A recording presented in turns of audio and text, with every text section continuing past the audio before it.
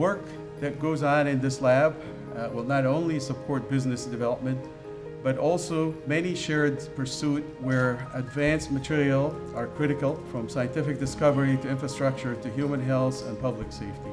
And that's something we are immensely proud to be part of. We truly are going to be exploring new frontiers in material science. And I challenge all that enter these doors, students, professors, companies, governments, to be curious, to look deeper, to believe there is a better way, and to find it for the benefit of humanity and our planet Earth.